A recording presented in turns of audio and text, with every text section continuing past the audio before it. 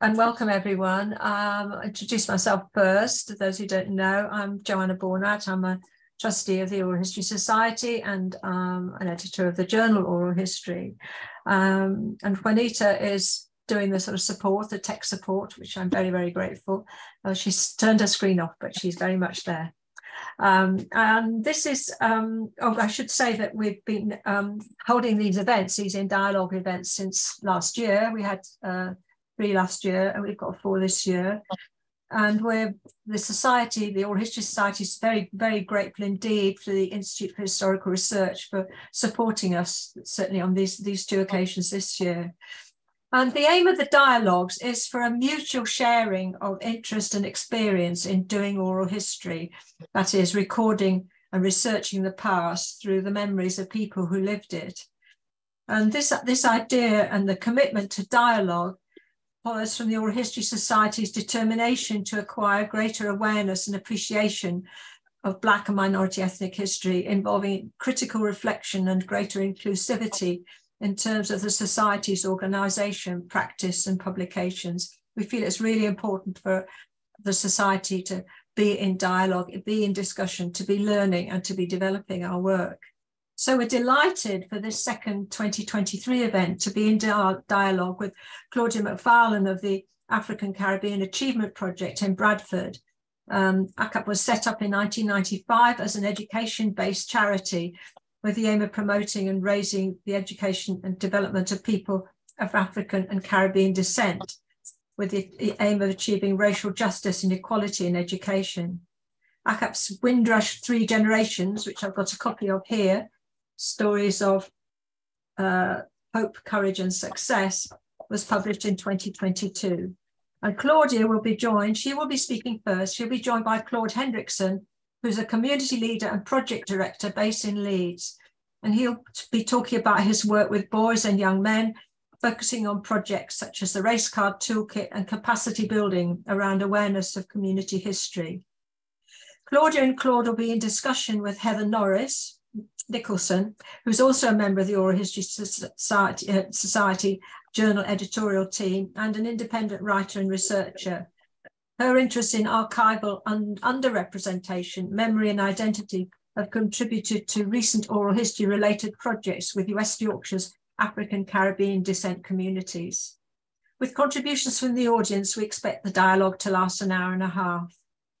Uh, just to let you know, which you will know because as you came in, you will have seen it, that the, the event is being recorded so that we're hoping others who haven't managed to be here tonight um, will be able to see it. So um, I won't, I think, carry on any longer, but um, open the floor to you, Claudia, to, to begin.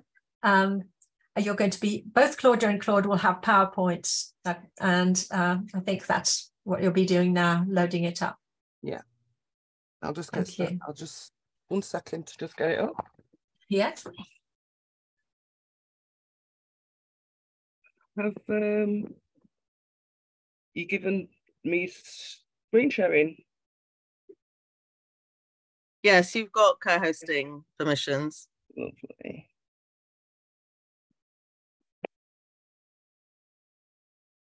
So can you guys see my screen? Because some you've got to share the screen with me.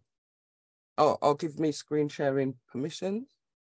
Yeah, so you've currently got screen sharing permissions. All you need to do is go into uh, the green button at the bottom, um, which says screen share.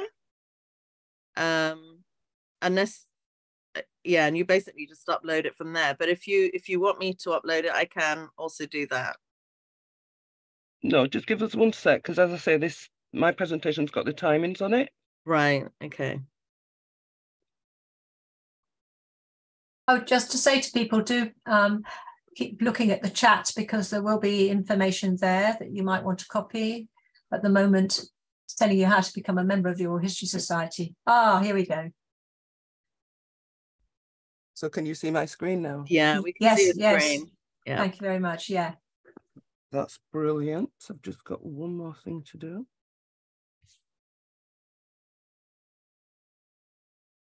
Can you still see the PowerPoint? Yeah. And just the see, see slide two. Okay.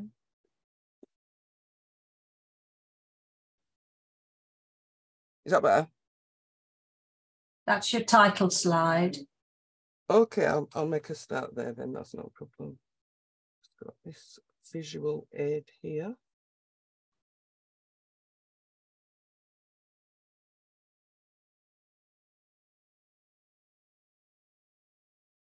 Sorry, audience. Don't worry, Claudia. Um, just take your time. It's always fiddly with these um uploading uh PowerPoints, so don't worry. We're on your side. Yeah. Yeah, it doesn't help that I can't see very well at the moment. Oh dear. Okay, I'm ready to go. Good. Okay, okay. Right. First of all, thank you very much for hosting us, ACAP, a small little charity in Bradford, West Yorkshire. Um, you know, we've been in the game quite a, a few years, as you'll see as I go forward with the presentation. But ACAP, which is the African Caribbean Achievement Project, um, as was mentioned before, you see my power, it's not working. Sorry. There we go. There we are. As was mentioned in the intro, was established in 1995, really. We're a grassroots charity, really small, but we pack a big punch, really, if you like.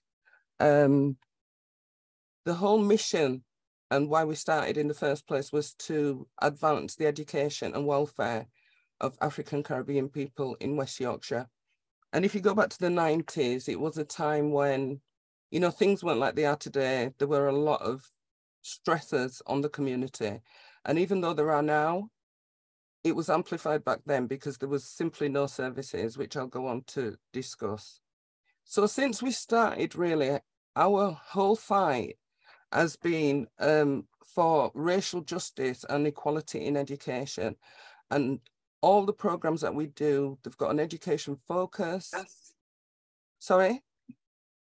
Oh, they've got an education focus and also they are pinned, underpinned really by this right to a fair access to education.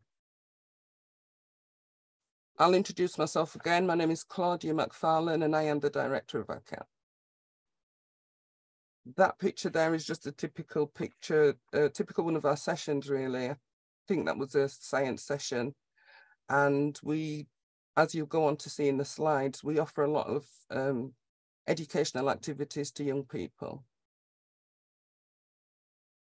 But before I really go on to speak about ACAP, I want to talk about the context in which ACAP came about in the first place. Because really, we're all children of the Windrush generation. And I wanted to mention that and acknowledge the contributions that um, the former generations have made for us. You know, we are privileged enough to uh, be able to work in a charity like ACAP because of, you know, the generation that were brave enough to come here in the first place. And when I talk about the Windrush generation, I'm talking about the people that came here between 1948 and 1971 as part of what we call the Windrush generation. Now, the majority of them came from the Caribbean, as we all know, but they were also, um, you know, people that came from Africa at the time, and they're often excluded from the Windrush discussions. So I wanted to mention that as well, that yes, it's about the Caribbean, but there was lots of Africans that also made that migration um, journey between 1948 and 1971. And they came over here really as invited guests by the British government who wanted the, who needed their help to come and build the country back up after the damage, damaging devastation of World War II. So if we look at the struggles and discrimination that they faced, this was in all the different sectors from um, the NHS and healthcare, transport services, and a lot of the public um, sector services that they came over here to fill. They had a terrible time, most of them. And I'm saying that because I am what you call a first, second generation, if you like. Um, and I know the stories of my parents and their peers and what they had to go through to put us in a position that we're in today. It's, you know, definitely worth um, mentioning and celebrating. So despite all the struggles and discrimination that they faced in the workplace, in employment, in education, you know, they still um, managed to continue and show great resilience. I have to keep moving forward to see what, what's on the slide. The legacy of resilience and activism in Bradford. We come from a really rich history and culture of fighting for our rights really in Bradford. And that's what I wanted to mention. There's lots of groups that have come before ACAP that, you know, really paved the way for an organization like this to exist in the first place. You know, we've had our fair share of, you know, fighting for justice in the education system, um, ensuring that our children have fair access to the best schools that they were previously excluded from, you know, just fighting um, school exclusions amongst African Caribbean um, young people, period, and all the other things that we have to do to just, you know, get educated in this country. Um, so when you look at the resistance and the fighting and everything that was happening for the Windrush generation, you can see how it was easy for an, um, an organization like ACAP uh, to come to the fore. So that's how we were developed it was on the back of parents who were really upset with the um, rate of exclusions of their children in school, particularly boys, and also just the substandard education that a lot of the children were receiving at the time. So a group of parents got together to, to start this um, voluntary sector group at the time that became a charity um, in 95. And, you know, the mission was at that time to go into schools, work with our children, to really raise what we call self-esteem and racial esteem, and to ensure that teachers understood how to work with our children and how to, you know, get the best out of them. So we developed lots and lots of programs, which I'll go on to speak about now. I was told to mention how social activism um, impacted our work. And so I'm going to explain that now through the programs that we currently provide. We, we provide um, different projects and services across education and health and well-being categories, as, as well as a very big volunteering program. So I'm just going to speak about this. I'm not going to labor it too long because I'm conscious of time as well. I don't want to go over. So this is what we currently provide mentoring services, which is really the bread and butter of ACAP. We go into schools and mentor children, and we also mentor in the community and from our community centre. We mentor one-to-one and in small groups. Online tutoring in maths and science, advocacy and support for parents, STEM um, and science clubs, we run monthly um, STEM clubs and science clubs. And out of school um, and summer activities, you know, like the general play scheme sort of thing. We also run programs on financial literacy and IT upskilling and employability type schemes. When it comes to health and well-being, I'm going to bring them all up because the slide's gone a bit funny. But we've got therapeutic arts and crafts um, projects, which sees us working with groups of predominantly women, to be fair, but we do get men as well, uh, that come in to do arts and crafts as a, as a form of therapy, uh, particularly in the um, environment that we're living in now with the cost of living crisis. It's really hitting the community hard. And prior to that, COVID and how that all just mashed up the community in many ways, uh, we developed a, a series of um, workshops around therapy and using the arts to heal. So that's a, a really good project that we do. We've got the Active Women Together project, which is a project that encourages women to become more active because of the high levels of obesity and um, just lack of activity amongst women, believe it or not, in Bradford. So we developed a project to combat that. Um, Women's Cycling Club, that's been going for about seven or eight years now. And that's just a weekly cycling club for women that, you know, want to go out, uh, form new friendships, you know, just take part in uh, nature really and take advantage of all the roads that have been built for cyclists. Um, the men's group and the counselling service again, which was a, a result of COVID actually. Uh, our people needed counselling, so we developed a service around that where professional counsellors offer counselling therapy to people in the community that need it.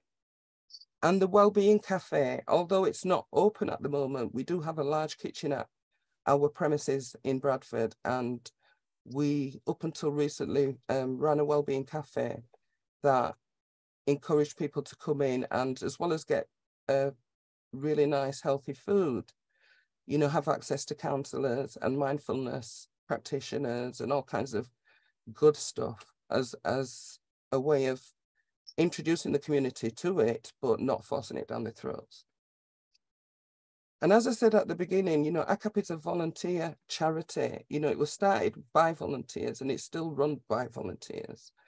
Um, and it's a big part of what we do. We really believe in, you know, community action and, you know, doing for ourselves.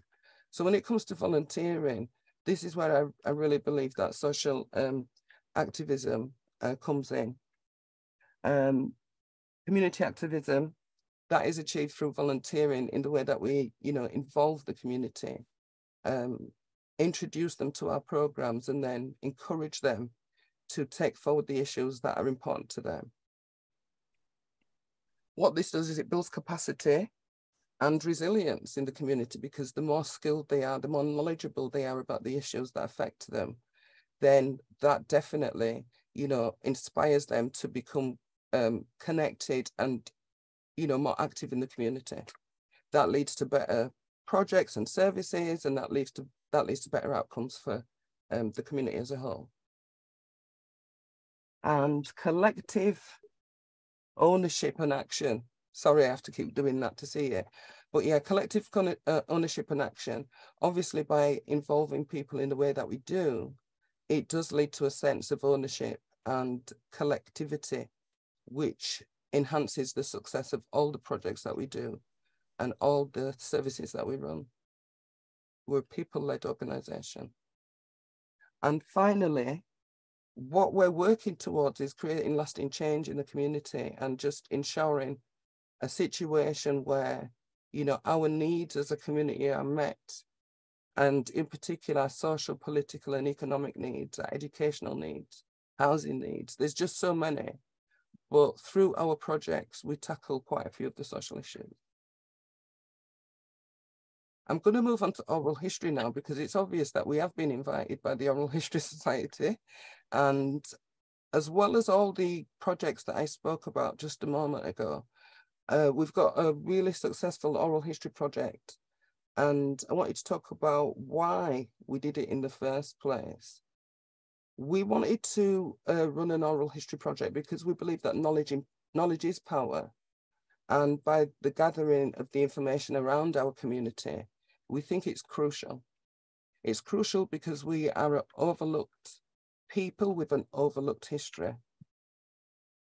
We've been excluded from a lot of the textbooks and we are underrepresented in history, period. Um, we're also um, underrepresented in main in mainstream institutions, most of them, including the Oral History Society. And I'm glad that you actually acknowledge that and that you you actually invite groups like us to come in and speak because I think it's important. Also, by taking part in oral history projects, we believe that it's a preservation of, of our own narrative. It's our story instead of his story. You know, we can uh, collect um, data and information of people that can be preserved for, for, you know, future generations and everything like that. I spoke briefly about the capacity building benefits of um, oral history projects in that all the different moving parts from the researchers to the interviewers, the, the people that are taking part, volunteers, the organizers, everybody gets a chance to um, develop their skills and uplift themselves really um, through IT, through uh, uh, various um, training programs that we send them on or that we deliver in-house. And so there's this whole effort that whilst we're doing this project, there, there is an emphasis on everybody sort of raising their capacity a little bit. A big part of it is collaboration and partnerships. And that's why I'm glad Claude's here today because he is one of our partners. And often when we work on projects. Um, we work right across West Yorkshire. Uh, Claude's from Leeds, I'm from Bradford, and we've, we've also got partners in Huddersfield that we work with as well. And we don't exclude the little small towns like your Halifaxes and your Wakefields, because we've got people in those areas as well that benefit from our projects and services. So it's really important to visit oral history. So I'll speak now about one of the projects that we have recently done. Um, and this is our um, oral history project that led to the book that has been displayed earlier. And I'm going to talk about how we did it. Uh, it was face-to-face -face interviews uh, style for every participant. We um, and we wanted it to be intergenerational, so we let the young people lead it, and they came up with all the questions and everything that we asked uh, three different generations of people. It was a organic process in the sense that we used the uh, every interviewer inter, interviewee sorry to choose the next person. So we didn't want to show any bias by selecting the people we wanted. They chose the people. And as I said, it was three generations and it, it produced huge impact in the community and there was a lot of buzz and hysteria actually around it especially when the book came out it was celebrated very well.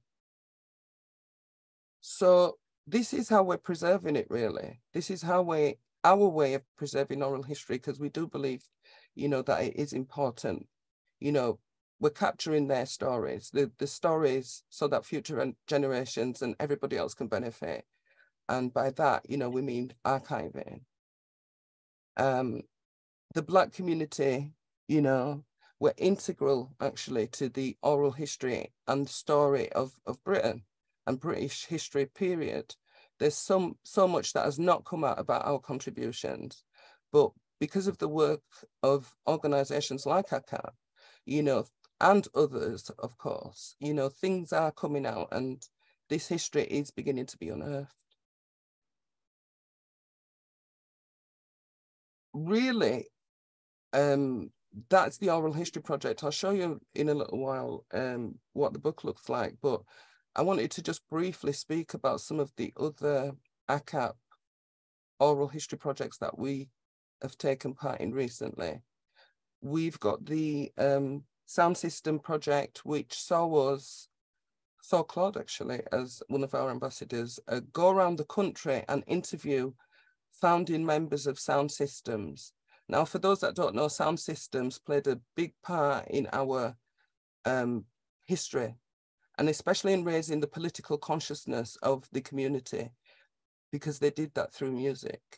And so sound systems really important in our community. So we wanted to definitely do something that documented their history. So we run a large and, and successful project for two straight years actually on sound systems and their founding um, principles and stuff like that. We spoke to lots and lots of people. By the way, everything that I'm speaking about is on our YouTube channel, so people can go and have a look at all the interviews and stuff like that.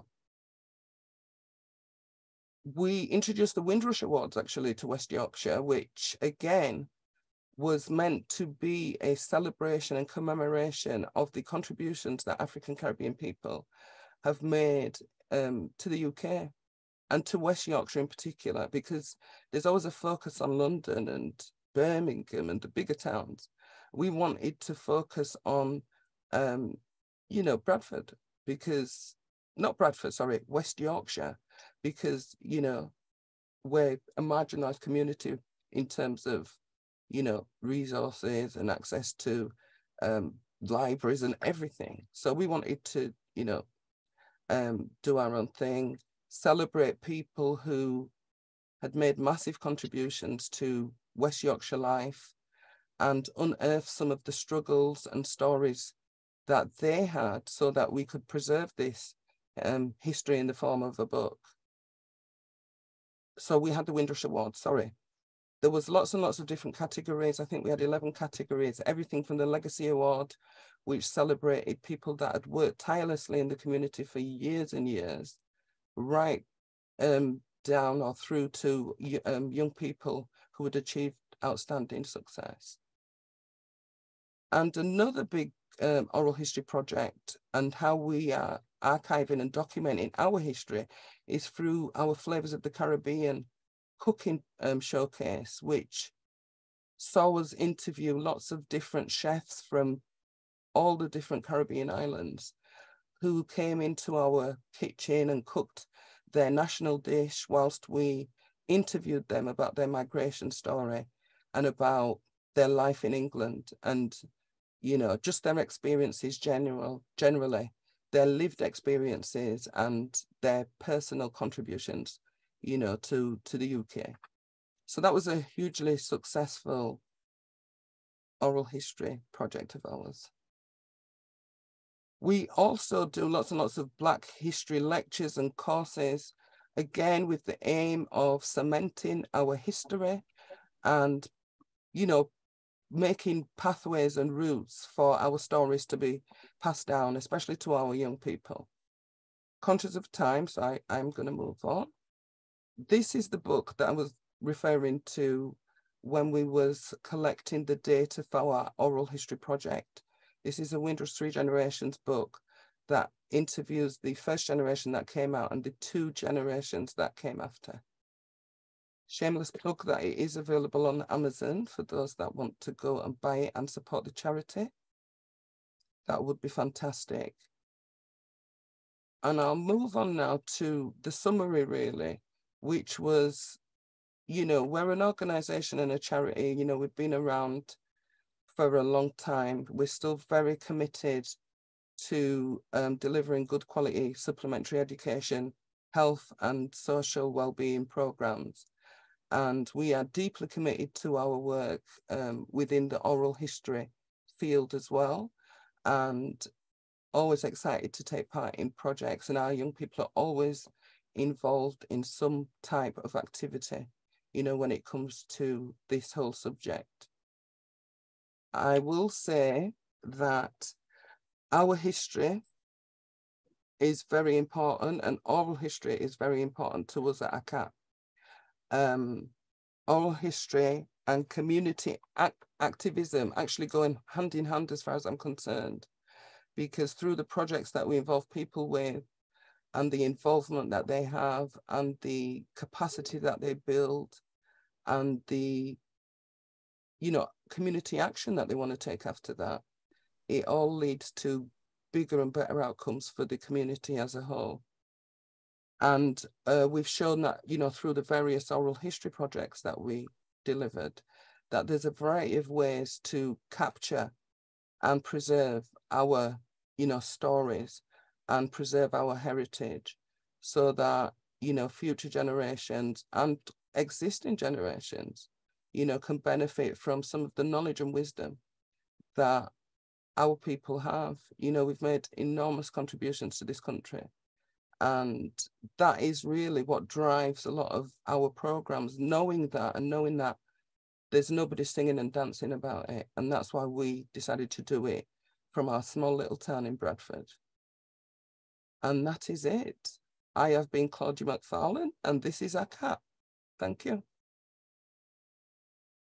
Well, thanks so much, Claudia. That was a tremendous uh, overview, and I'm sure you had to, you know, cram uh, a lot into that short space of time. So, if anybody wants to, you know, pick up now with you any of those points you make, and and later on after the uh, after tonight, I'm sure they'll want to, and they've got some good leads there. Um, really, you know, personally, I feel really impressed to to read about your whole approach. I like, and I like that where you talk about a variety of ways to capture um, the past. I think that's very inspiring and creative. So thank you so much, Claudia. Yeah, thank you. Um, we're now going to move on to Claude. I hope. Um, I hope that Juanita's somewhere in the background sorting us I, out. I, I am. I just need to wait for um, Claudia to take her screen down. Oh, and- sorry. What? How do I do that, Juanita?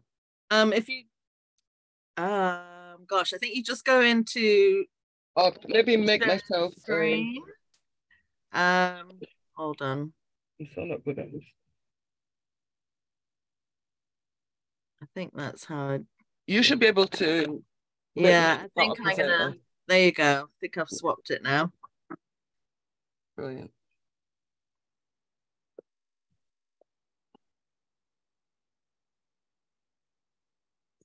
Okay, um, I can see there's some uh, a question in the chat already, but if we can save that for when we uh, when Claude's finished. Uh, I said uh, yeah, an interesting question about oral history's role in um, recording the history of ACAP itself.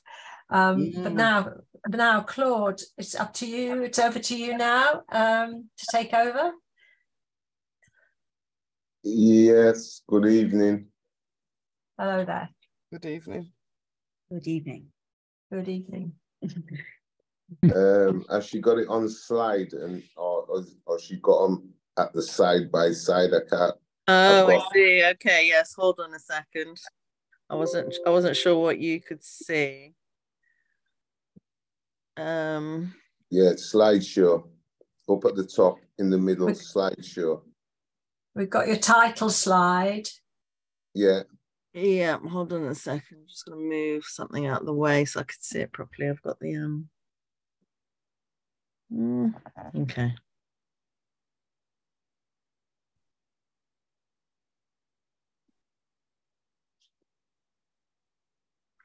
I think the problem is I've got a split screen.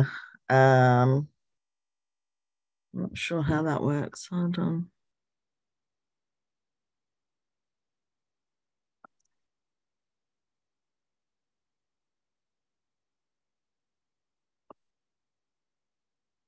Is it view and then present a view?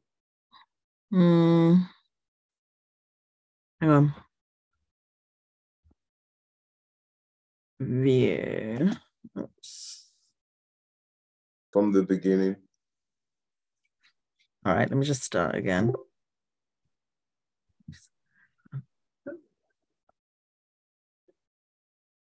If, if anybody can, oh, right, here we go. Oh. Right. Okay. All right. Is that me now? Everything cooking and going? Yes. I I hope so. Yeah. O- Okay, thank you for the invitation, Joanna and Heather, um, to contribute to this um, oral history project. Um, I'm Claude Hendrickson from Chapeltown, Leeds. Actually, I'm coming to you from Barcelona today because I'm here in Barcelona on a um, housing, social housing conference. So bear with me because I'm in from Barcelona. Um, right. Um, Claude Hendrickson, um, Community Development and Social Justice um, presentation. I'm, I'm part of the Leeds West Indian Centre Charitable Trust, which is based in Leeds. And what I'd like to say is a lot of what um, Claudia has spoke about um, has happened in different ways in most communities across the UK, um, but even more so in West Yorkshire. So slide two, please. I'm going to take you through um, a whistle stop talk because Claudia's had a big, she's done a big session. So yeah, activism. I think all the communities across West Yorkshire and all the Black people in the UK were um, encouraged over, and she spoke about the Windrush generation and the children born here in the UK. And I'm of, I'm also one of the first generation of children born here. Uh, my mother came in 1958. I was born in 1960. So watching the activism and how the activism across West Yorkshire and across the nation was um, initiated, I would say. Um, and and when, when we talk about that, we have to talk about um, organizations that um, pushed activism, organizations like the Young Socialists. Um, they were very active in Chapel Town back in the 60s, supporting our parents because obviously, even though the Black community was having it hard. It did find white allies within the system. Um, but there were things that were empowering the Black community through the 60s, right? So, so I'm going to give you, I'm not going to go through them all, but groups like the Black Panthers, people like Malcolm X, um, people nationally like um, Darcus Howe, um, in Leeds, we had situations where, and Claudia spoke about young people, and I'm going to come back to that as well. Um, we had um, the riots of 1975, which was very much about the police handling of the community, um, which also led on to the riots of 1981, which were more and Claudia spoke about it more about the the underrepresentation and the no opportunities in employment, housing, education, training, health and well-being that we as a generation were suffering. Um, in Leeds, they formed an organization after the 81 riots called the Chapel Town and Harehills Liaison Committee, which was formed straight after the 81 riots which was a platform for inter conversations between local authority and the young people and the community. Um, the Rasta movement, which I have to mention um, when you talk about activism and how activism empowered the community, the Rasta movement, the 12 tribes of Israel, and His Imperial Majesty Haile Selassie were beacons for empowering black people to kind of stand up and and and and um, take some responsibility for what was happening to them and fight back. And then in the later stages, we had people like Nelson Mandela and his incarceration, um, the 26 years that he spent in prison, which in Leeds, um, we have um, the Leeds Mandela Center, which is in respect of, of, of the Mandela saga. And, and out of the riots, we also ended up with the Leeds West Indian Centre and the Mandela Centre. So that I'm just giving you a whistle stop tour there of activism before I go in and, and where act and how activism was underpinned, especially in the Chapeltown community, but I think within many communities across the country. Next slide, please.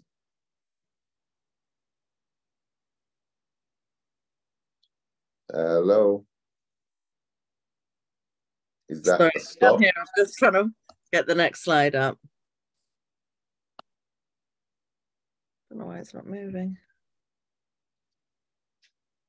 Oops.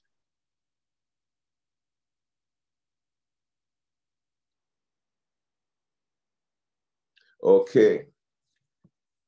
Right. Um, go back a slide. Yes. Yeah. Yes. Um, right. Sorry about this because obviously she's sharing my screen because I, I couldn't do it from across here. The internet's a bit down. But anyway, in just to give you a kind of flavor after all of that, um, in Chapel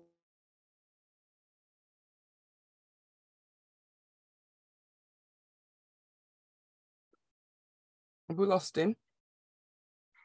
We have. Oh gosh. Yeah, it sounds like his screen's probably frozen. Right. Oh dear. Can he log on, log off? How are we going to contact him? He'll probably try and come back in. He will. Yeah, yeah, yeah. I'm sure you're right. He must know. Shall I WhatsApp him? Yeah, if you've got his Ah. number, but I think I'm sure he'll he'll try and log back on. Is he there again? He's moving again now. Is he? Uh, he's, hi, Claude. We've lost your sound. He's, he's muted. Does he need to unmute? Mm.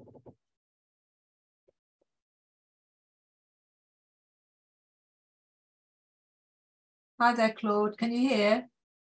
We've lost your sound. You're shown as muted. Yeah, Ah, I've got, yeah, yeah, back, yeah. back again, back again. Hooray, hooray. Trust me, trust me to have somebody phone me from England, eh? Um, you're too, too popular there, obviously, too important for this occasion. Right, Right, okay. here we go. Okay, that'll be that'll be my, my that's I think that's my Barcelona people um that are at this conference. Anyway, let me get back to where I was. So um after many years, oh Jesus. We can still hear you, Claude. No, no, I, I I know, I know, I know. I'm just checking. Right, you can hear me? Yeah, yes, yes. yes, Just yeah. my look. Okay, so like Claudia was saying, many communities were suffering under all of the issues that she highlighted. And in Leeds, back in 2012, we at the Leeds West Indian Centre Charitable Trust, we set up a project called the Race Card Project because what we'd realized is that whenever um, Black people wanted to talk about the issues that they were facing, they would always say that we were using the race card, which actually created a sense of negativity. So we wanted to change the narrative on the term race card um, when the Black people talk about inequalities and issues they were facing. So what we we set out to do was look at the West Yorkshire experience, and we looked at Leeds, Bradford, Huddersfield, and Wakefield, um, and and African Caribbean communities that were um, that had not been catered for, as, as as you heard Claudia mention uh, on various things.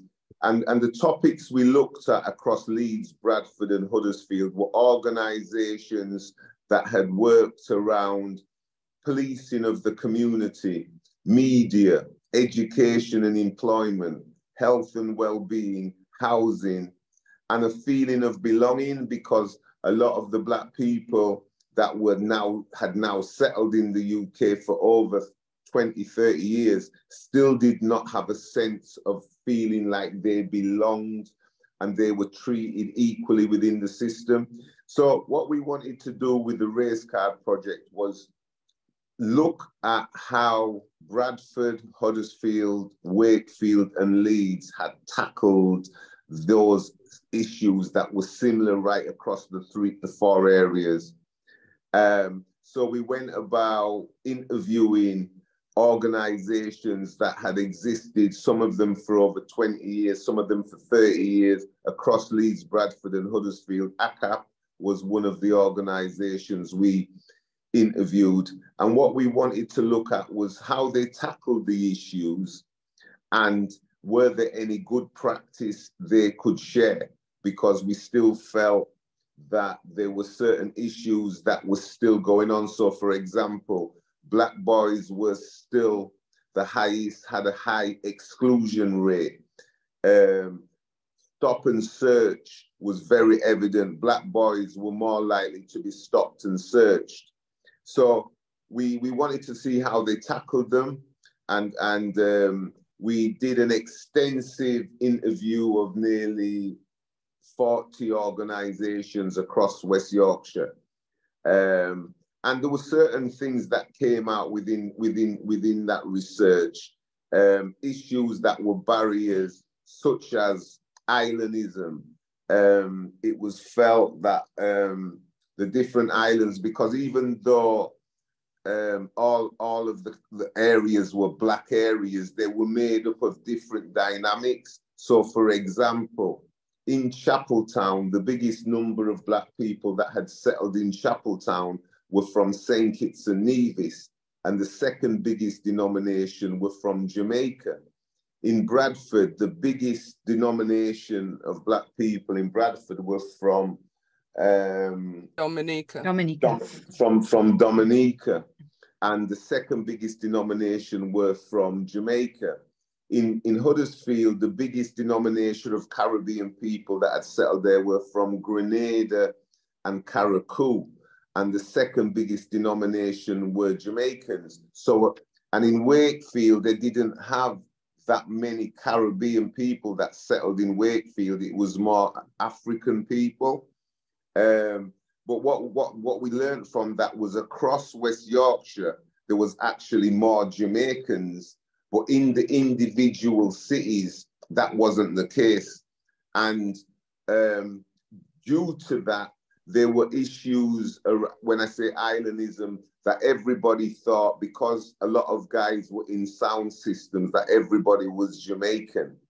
And, and, and we did, you know, there was stuff that, that came out. Um, generation blocking was another barrier that we found. Um, the older generation were holding on to the reins of organizations for too long and not allowing the so-called youth of, of the day in the 80s to kind of come through. Um, what I would say is that, and we also learned from this research that sometimes community work is, is a very thankless task. It's very thankless. Individuals in our communities take on being the spearhead for change and actually suffer a lot. You know, we, we think about it like this um, black community activists suffer it two sides. They get it from the white institutional the racist organizations, but they also get it within their community. So it's a double whammy being an activist within the community. This is what the research was showing us. Um, institutional mistrust and undermining um, over the over the decades, the institutions such as the local authority, the police, the education system, have a big mistrust in what Black people present to them. So when we present a way of, and, and, Claudia spoke, maybe we find a way of dealing with our young boys that would stop them getting from in, excluded. The education system didn't want to engage, they didn't want us in their schools. And undermining, you know, I, I look at the youth service when, when Black people were coming up with a better way of working with Black youth than the statutory delivery, and I'll speak about that a little later on. Um, they would undermine it. They would, for example, take some of the best Black workers, youth workers, and make them work for the local authority. And once they started working for the local authority, they couldn't deliver quality back to the community because they had to do what their paymasters said. Another outcome from the race card um, research was negative, negative media and, and the role that the media plays in promoting a negative narrative around Black people. Um, that, that was evident right across when we spoke with the Yorkshire Evening Post, when we spoke with the Huddersfield Examiner, when we spoke with the um, Bradford, um, what is it called? The Bradford Telegraph and Argus. Yeah, um, it was it was very evident, um, um, and also institutional racism, which is a word the system doesn't like, but it's a fact. You know, we've had to deal with half of a century of this, and people like me and Claudia are sat here now half a century after being born in the UK, still talking about the issues that we've had to face. Next slide, please.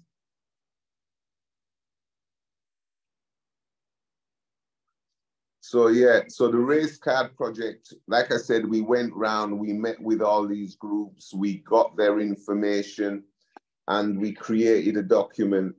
And um, we launched, we launched the doc, we launched the research in, I think it was 2017, 18, 2017, where we had people like you can see a Simon Woolley come up. We had um, one of the police crime commissioners um, come up. We had people like, um, oh, his, his, name just gone from me and I can see him there. We had um, Milton Brown from CLTV from Huddersfield, who was running a, a media organization. We had Heather Nelson from BHI, who was running a Black Health Initiative and we had Jeremy Crooks from London, who was an who had been actively running um, BTEG, Black Training and Enterprise Group in London, tackling a lot of the issues you heard Claudia mention. Next slide, please.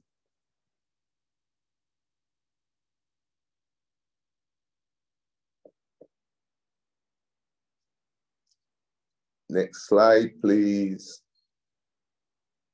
Sorry, I don't know why it keeps getting stuck.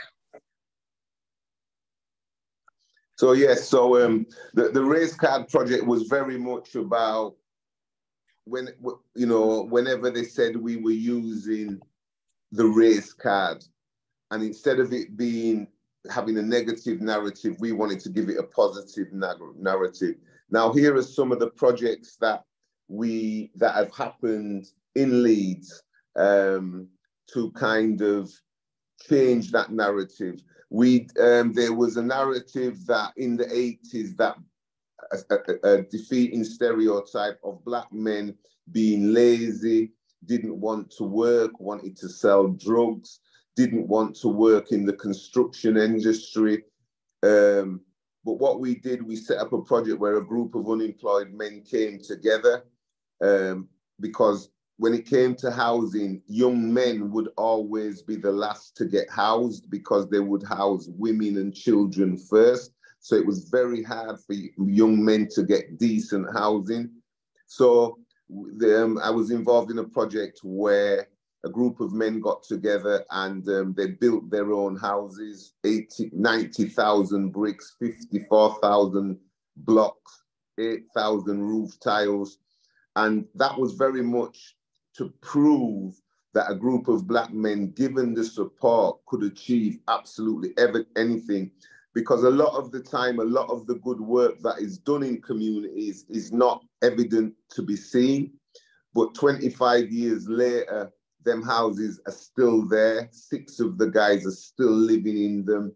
Um, so again, that was one project. And they wanted to go on after that project and develop the um, frontline trust, which would allow local contractors to come together to hopefully access work from the local council and housing associations, which never really happened. Back to your institutional racism, back to your undermining, even though they delivered a half a million pound building project, they still couldn't get work from the council and from housing associations. Next slide, please. Chapeltown Young People's Club was another, you, you, you heard um, Claudia talk about young people.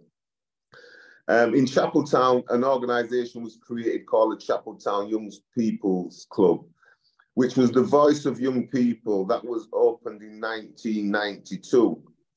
Um, back then, we realized that the biggest, one of the biggest corrupter of young people especially in disadvantaged communities, were the six weeks summer holidays.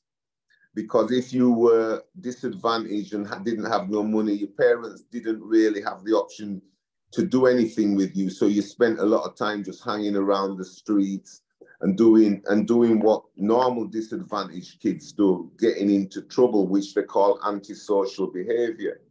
So we set up, um, or the Chapeltown Young People's Club was set up to run summer programs during the summer to take them young people off of the streets and give them activities to do it. It was aimed at 14 to 16 year olds because we also found that a lot of work was done with homework clubs and summer and um, after school clubs with the younger under 11 year olds, but there wasn't enough work done around 14 to 16 year olds. So they created a homework club, especially for that age group, because they were going through their stats. The last two years of their school life were very crucial to them.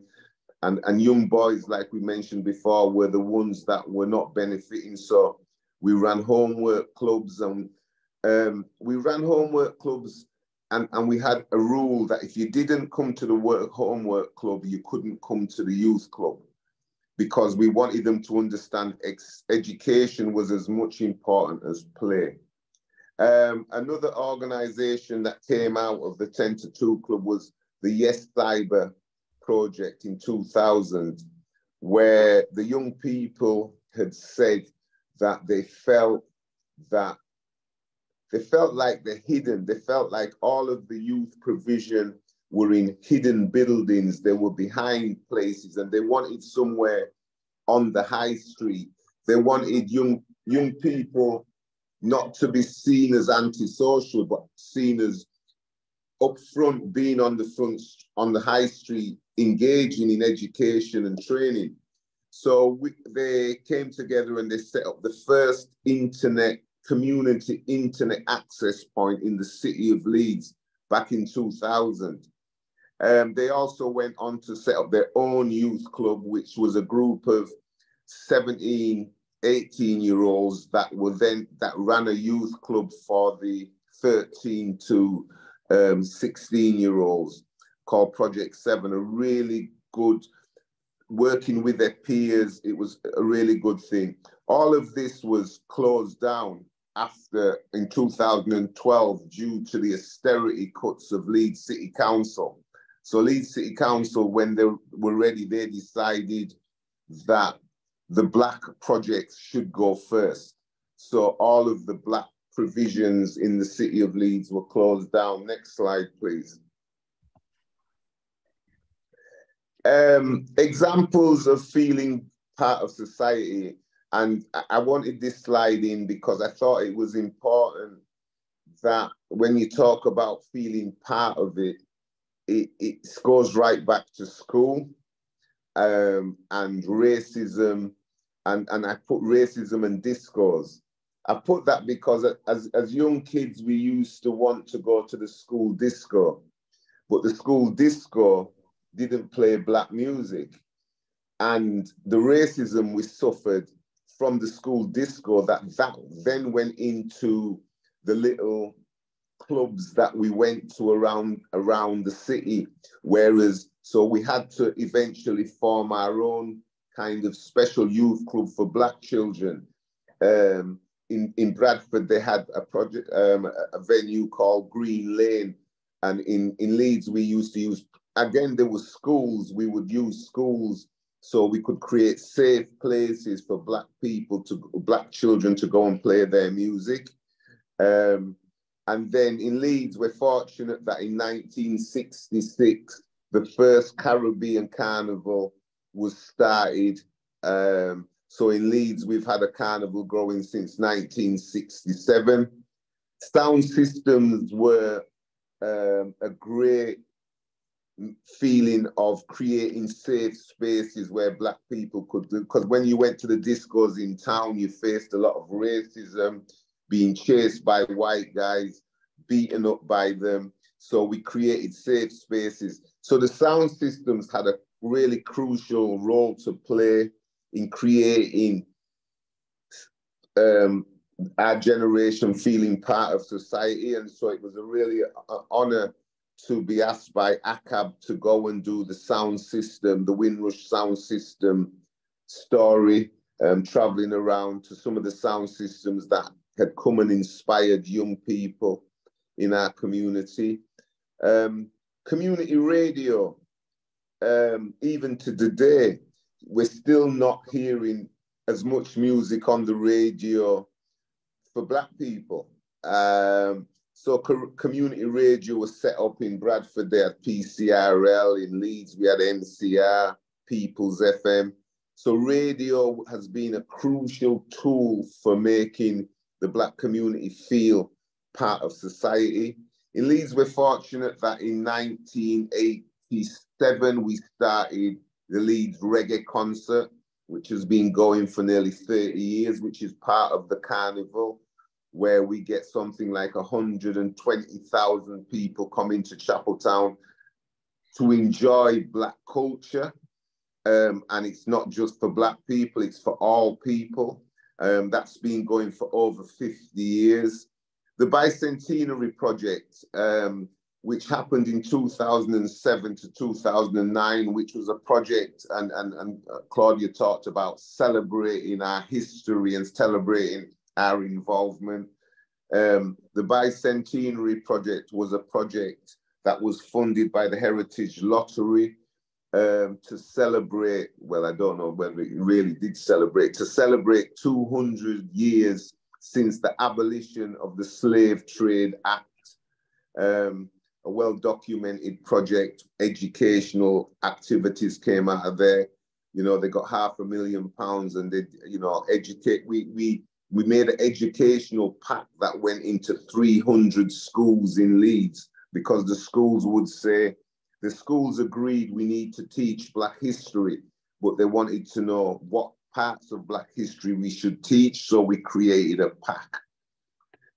Um, I've mentioned the Windrush sound systems because I'm aware that time's going. I think I've got another slide and that's it. Or is that it? No, that's it. Is that is that it? Or do I, I have another? There's one more. Hold on, let me just. Okay, I can't remember because I can't even bring it up because I'm like I said, I'm in Barcelona. Oh no, it looks like that's the end. Okay, yeah, okay. Okay, well, um, thanks, Claude, and um, that was a, a whistle that, stop. It was a whistle stop of a, of a fantastic amount of action and activity and celebration as well as uh, community activism, and particularly your work with uh, young men in uh, in Leeds, I think is is very significant.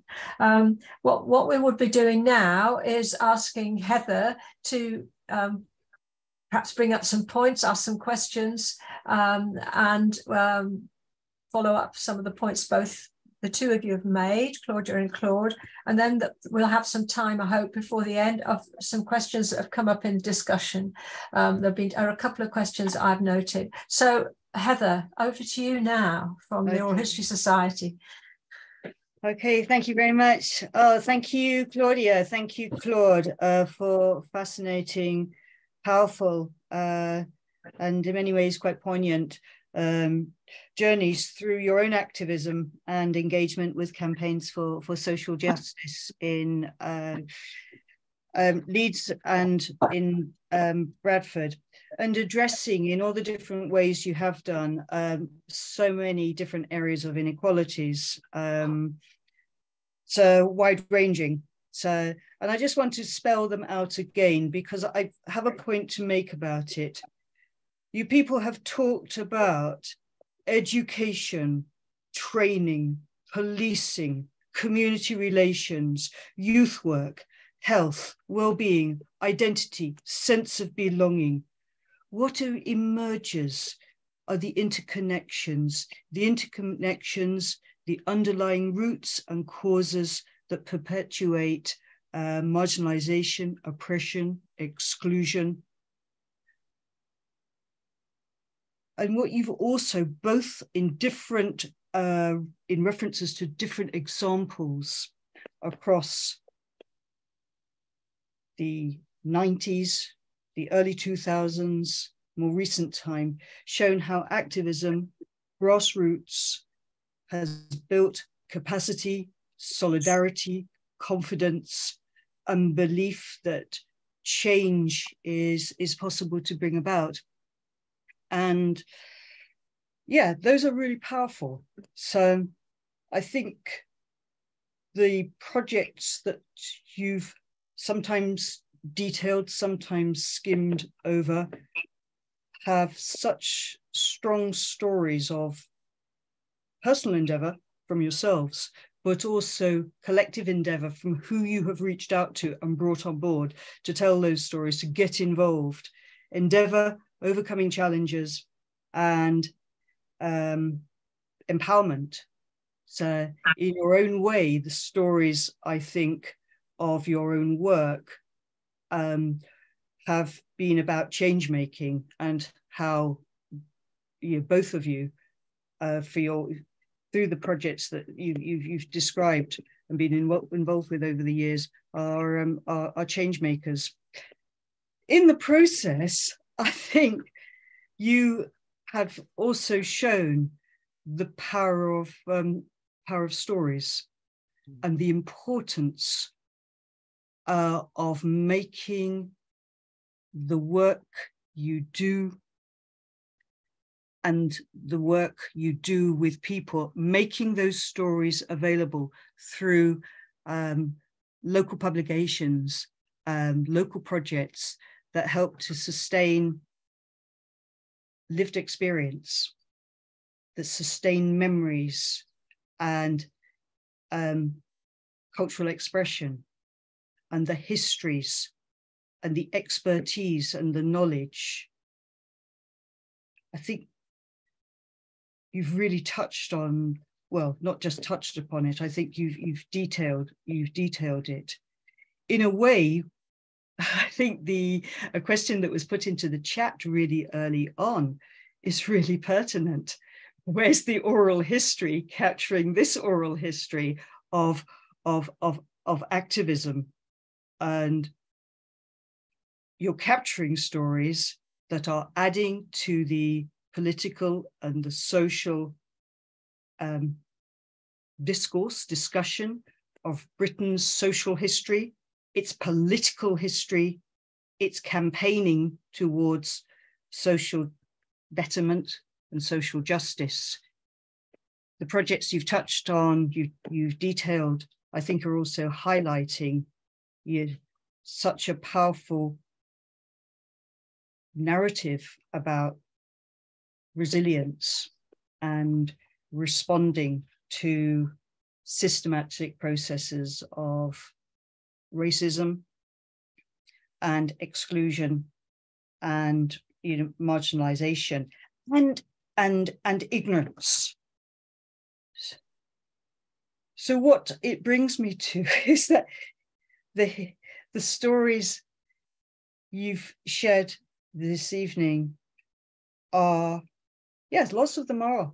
They're still unheard. They're still omitted. They desperately need recording record keeping. Mm-hmm. The story of the projects that capture the experiences. It's a duty, it's an obligation to retain that knowledge, the knowledge of the self-build, the knowledge of the supplementary schools in, in, in Bradford, the knowledge of the, of the cooking. We do need to hold on to them. We need to gather them. We need to celebrate the past in, in, in the present. We need to respect the endeavors of people that have gone before. And we need to inform the future about that. And that process of reclaiming and rectifying overlooked historical presences and is clearly passionate, yeah, a passion underpins you know, lots of what's been going on, what's been talked about tonight. Uh, it's it's really really powerful. So something slightly different that I, I just jotted down. I just want to see. Sorry, I've got so many papers in front of me, but you know, after that, yeah, set of uh, points. Um, what comes across is that the work you're doing is so varied in so many different ways. You're tackling so many different fronts all simultaneously. And I think for people who come from a, an oral history background, from an, an, an, an, academic interest in, in, in oral history, it's it's a sole focus or it's a it's a particular focus mm. but the daily bread and butter of your existence along with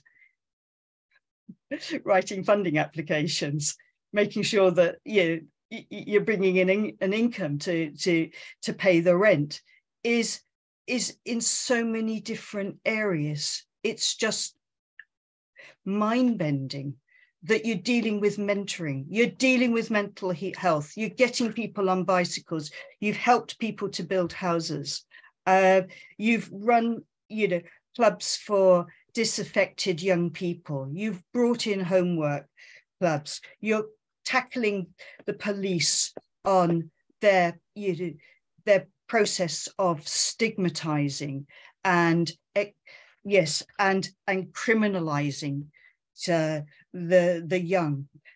It's all going on simultaneously, and I think that's a really powerful reminder, not just to you, the academics who are interested in oral history, uh, but and the funders. And it would be really wonderful if funders were here in this meeting tonight, just to hear the the the the the struggle really and the context out of which all your all the work from grassroots organizations constantly comes so so there's something about that that um what else? These endeavors i think we've all heard this evening are real reminders about valuing how people learn from each other um, of recognizing achievements, of inspiring others, of bringing the unheard and the unlistened to and the excluded more into the the the picture of building confidence of repositioning lived experiences within a broader narrative, whether it's the local narrative, it's the regional narrative, and and those, or whether it's a national narrative. I think that's been really, really powerful. And it was also really powerful in the um, the Windrush Generations publication. The interviewees, they recall incidents and events and fragments and inner thoughts and first impressions of what it was like and in their own voices and it has meaning it has meaning now their private stories have been made public and given significance after being sort of marginalized for such a long time so I think oral histories have come out in, in, in this dialogue, I think about not just giving voices to the unheard, but they invite us so profoundly to question the gaps in the historical record. So, so and rethink and prompt new sorts of questions about the stories that we should be gathering and recording and making sure that this stuff is there as a resource for for the future. So i'm going to just stop my yeah my own monologue for a while and put put a question um uh, back back to you both really about archiving because saving this stuff is so important you've both generated stuff over years You've mentioned you know publications, you've mentioned YouTube. Where is it going to be, you know, five years from now, 10 years from now? Where's where's the sustainability plan of safekeeping it for the future? I mean, I'll take this if, first if it's okay. There, there's not a massive sustainability plan, but our thinking is that it's better to have those stories out of the heads of the people that are giving us the stories and to just at least make a start.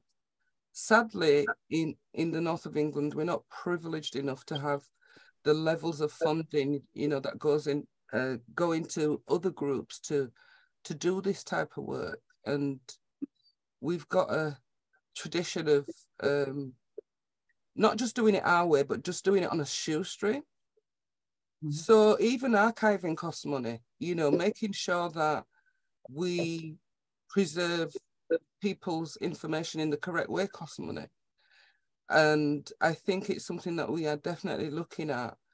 But is it is it more important to us than uh, children being excluded? And and that's the question. You know, we can only do so much with so many hours a day. And I think our focus has always been on delivering quality educational services first. And within that comes oral history. So um, for me, I think um, historically, our parents and that generation would, would keep documents, reports under their beds, in their lofts. Um, that's one of the greatest things of um, the internet and, and social media because it gives us a vehicle for hosting stuff. Um, and as well, I'm trying every time now that I do anything to work with the universities because the universities are the biggest storers of archives and stuff. So getting students getting on getting on programs like doing programs like this where individuals are going to record and make that that information available. Um, so as far as I'm concerned, with with the internet and social media and that platform, we now have a vehicle where we can put that information, get it out there, and hopefully it will get to more voice, more people will hear about it, read it, look at it. Um, so yes, so the times are changing. It's a pity we can't, and and and and even people I know, you know, still got some documents and, and we're still trying to find a university group that will take these documents and, and digitalize them so that they're, they're available for future groups to access. Yeah, I think that's... Yeah. Sorry, Sorry. Joanne. No, I just say thank you because, uh, well, thank you, Heather, for your um, very passionate response to mm-hmm. Claudia and Claude, and also for that that important question as well, and for you, know your two Claudia and Claude's responses. I think we're conscious in the Oral History Society very much of the uh, struggles which people have to get archives funded. Um, and oh, we've got a hand up here from John Gabriel. Perhaps you'd like to add, add to that, John, and uh, this discussion about archiving. if you can unmute yourself.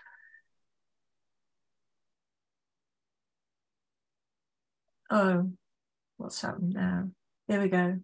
No? I, yeah, I'm, I'm here. I think I'd probably right. jump the gun uh, with my hand, Joanna. I have got a point, a couple of points, but it's not directly relevant to archiving, except okay. there was one point I did want to say that um, I was actually I was up in Leeds a couple of weeks ago doing a, a workshop for um, the university PhD students, and um, the School of History there is very interested in oral history, and um, I think the woman who runs it um, would be very interested if you wanted me to pass on mm. the details of the organization and facilitate a meeting, because it may well be that they could be a repository for their archives or they may facilitate funding for them. So it's just a thought that I can I just chip in. I just wanted to say at a personal note, I I I, I am indebted actually to um, the community of Leeds and Leeds Football Club actually, because um, as an early teenager, I used to watch um, Albert Johanneson play uh, for Leeds United, and he was one of the first black footballers, black South African footballers, to play in the first division, and um, I. Uh, I was very struck by the level of racism and racist abuse that he got when he was playing uh, for Leeds, and it really made me think as a young teacher, teenager about you know what was going on in society, and I was very sad to learn um, that he died I mean, relatively poorly off um, in the mid 1990s after you know pretty big career in the first division. The the second thing I just wanted to say as well, uh, picking up something Claude said, I was struck by a number of your projects, the range of them, and I think Heather's right. You know, one of the ways in which you join the dots in these experiences of institutions which can be quite fragmented. Oral history allows you to do that through talking about people's whole life stories, and then you get the sense of how education, how police, how those housing, how all those institutional experiences come together in one life. So I think it's a great way of documenting the relationship between them. But I did think, Claude, one of the most powerful and striking stories you told was the one of the um, the young men building the houses. I'd not heard of that story, and um, I don't know if you've got any more details about it or links you can send me, but I'd be really interested in um, reading more about it. Thank you both very much. Okay, well, I'll, I'll, I'll, come. I'll come back on that. Um, what's your name, John? Yeah. Uh, yeah. If you if you Google Claude Hendrickson, I've got a YouTube channel. Um, if you Google it and you look in there, you'll see frontline self build. Um, so it, it's there. And, and if, if you just Google Claude Hendrickson and frontline self-build, you'll get a lot of stuff on it because I'm, I'm, I am still peddling and banging the drum for community-led housing and um, land trust. That's why I'm in Barcelona now at this conference talking and, and, and promoting self-build and um, empowerment of people. So yeah, you can you can Google my name or you can go onto YouTube. Okay, we haven't. We've got not much time left, but I know there are two questions in in the chat, uh, which I don't know whether Claudia, you might have you whether you've seen them or whether you might be interested in responding to them. Um, I'm not quite sure if we're allowed to run over past half past seven, but anyway, um, we've we ought to aim to end there. But the first question is about uh, to what extent Black children in Yorkshire were, this is from Juanita, were impacted by ESN schools and also about the immigration legislation and impact of that on the Black community and if any activism has formed around these issues. That's one, that's a kind of double question. And then two, wanting to know, you know, what your approach to oral history interviewing is. I, I mean, that's a lot to, to to to respond to, but th- there might be, you know, you might want to pick out something there from uh, Juanita's questions. I forgot the first one because the, the, Oh, sorry, it was, there was a lot, wasn't it? Sorry about that. It was about the uh, about ESN schools and about immigration legislation and what kind of activism activism formed around those two issues. I think you mentioned something about ESN schooling, didn't you, in your slides? I did. Um, I mean, we've uh, you know, I can speak from Bradford's perspective. Um, you know, we've always been uh, aware of the issues that affected our children, and, and we've been in a constant fight. You know, mm-hmm. we've mm. been in a constant struggle to um, get people to accept, you know, our our whole existence in this country, never mind anything else. So, we've done a lot of work around um, extracurricular activity, exclusions, and the like over the years, and that's really the foundation of the charity and why it started mm. and why we still mm. exist today. Yeah. When it comes to the second question, was that about uh, your approach to oral history? Yeah. What, what, what form does it take? Do you do, for example, do you do group interviews or one to one? I know you showed us a slide which was one to one. Yeah. Video. Should, yeah. Uh, group interviews. No, everybody that we have interviewed so far it's always been on a one-to-one basis but mm. in saying that we do have lots of focus groups and you know this type of thing um, mm. one thing that i've learned tonight is that we're not documenting enough you know we're not mm. you know looking at a way to connect the dots as as was said and i think it's because like i said before you know oral history is probably like 10% of what we do mm. can, I, can, can i come in on that yeah, yes, please. And I'll do it in reverse. When when I did the race card and, and when I created the um, the media toolkit, it was it was very much about the, there was a platform here. How were Black people going to use that platform?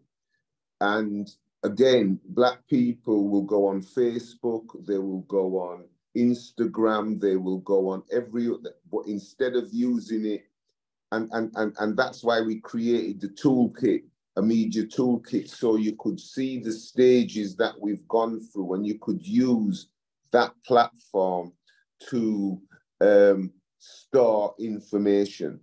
And, and, and, and back to the first question you had said about SEN schools. In Leeds, they had a program where they were going to create 200 teachers, black teachers, that would go into schools. And again, institutional racism within the education system. People signed up for it, went on the training, started to go and work in schools, but they were drummed out of the schools. They were made, made to feel insufficient. They were made to leave. A lot of them have left education now and have gone to work in other fields because of the racism they suffered from within the institution of schools.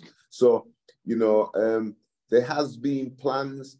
You know, you know, we even got involved in a Black Governors program where we were training Black people to become school governors, and they went in they, they were hounded out by the institutional racism that they suffered from other school governors, uh, you know. So to me, again, there is evidence, there is situations where we have taken it to them, but every time, and I mentioned it, institutionally and undermining what we present these are, I mean, these are all strong and important points. And I think the question that um, Craig, who's had to leave the meeting to go to another meeting, raised, which is about the oral history of activism, the oral history of ACAP, for example, the oral history of, of what you've done, so people can learn from how you approach things, what those issues were, whether they've changed, which it seems in many ways, of course, they haven't. So I, I think if we, if we can, you know, carry on that dialogue outside this meeting and thinking about those things, those are the sort of things I think which the society would be interested in carrying on talking to you about, and in any ways which you felt were important and yeah, relevant. Yeah. Well, and can I, think, I, can I, say can I can I say something, Joanna? Yeah because we have to wind up soon. I've got to go because we said an hour and a half and it should have I know, finished. I know. Right. No, but you spoke all the time. That's why we're still. No, no, no, no, no, no, no, Claudia. You said you'd have three slides and you did eight. you said we, three slides. Can, we, can we leave? Can we leave the counting but, behind? But, but anyway, what I was what I was going to say is that um, the system, this white system, is more likely to give money to white to you guys to come and do stuff with us than they'll give it to us to, to log our own history. This is, you know, Heather works with the Heritage Lottery. She knows how hard it I... is. when I say she works with when I say she works with the Heritage Lottery, they've they've funded that they yeah, have funded, yeah. but I do think that funding has has has has has changed mm. and funders want to be more inclusive you know they have to they have to fill their yeah, mandate as well so i think it is a good time to reach out and and find partners mm. and try and you know build strong bases for for safeguarding material. So I hear, I, I, hear, I hear that. I hear that. But if if I want money to have people dancing up and down in the streets, carnival, or pretending Windrush by putting on events that are dancing and singing and sport events, they're going to fund them events. They don't fund strong educational things. They give us pittance, but they'll give fifty thousand pounds to put on a Windrush dance or a Windrush mm. festival, where you see it goes back to history, where they mm. like to have black people singing and dancing mm-hmm. and mm. going on like we're stupid. When we talk about serious educational stuff that we seriously, they don't want to fund it. And I they don't look, want to fund it. Lord, you, Juanita just want, do you want to come back on this point, Juanita? And then I think we really got to finish. I know I'm yeah, I've got to, I've, I've got to go anyway right. because I, I was supposed to be at Okay. I just wanted to, to go.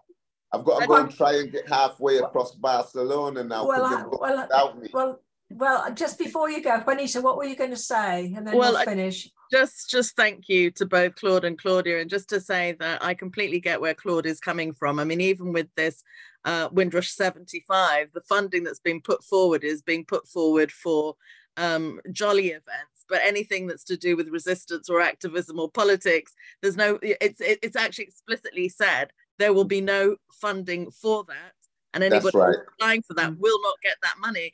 So I, I, I, get that there's this kind of people trying to control the narrative, you know, about what the community wants to put across. So I just say um, I, I really feel what you're saying and and and the frustration that's coming through with that.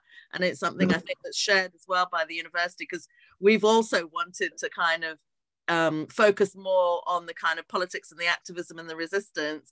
But again, it's it's so it's you're not the only ones in that boat. So just just to say that I I, I really sympathise with you and, and we're in solidarity. And I'll definitely be reaching out to both of you because I, I, love the work you're doing and I think it's fantastic. Really. Well, that's, yeah, that's that's great, Juanita. And I think you're speaking for all of us on the Oral, the Oral History Society. So I really really appreciate okay. both Claudia and Claude, all the effort you put into your presentations tonight, which shows us how much work you've you've done in the mm. past. Let's hear more about that. Let's hear, you know, yeah. people talking about the efforts they've put into. And thank you, Heather, for your response as well, which was so powerful. Mm. Um,